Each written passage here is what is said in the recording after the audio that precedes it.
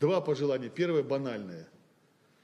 А, у меня на руке часы, а, которые мне последние три месяца пишут, вам срочно нужно взять паузу, прийти в себя, и вам нужен отдых. И начинали с 20 часов. Вот сегодня утром они пикнули, мне нужно 60 часов отдыха.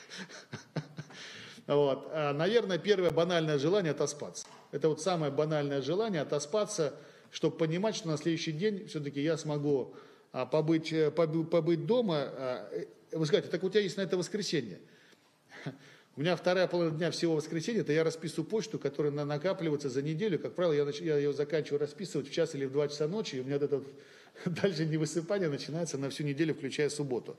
Поэтому первое банальное желание выспаться – а второе такое желание, чисто семейное, чтобы у всех было дома все хорошо, главное здоровье. У меня а, уже ковидом переболел не только я, переболели уже несколько а, членов семьи и, и, и родственников, и, к сожалению, среди э, близких и знакомых не обошлось без потерь.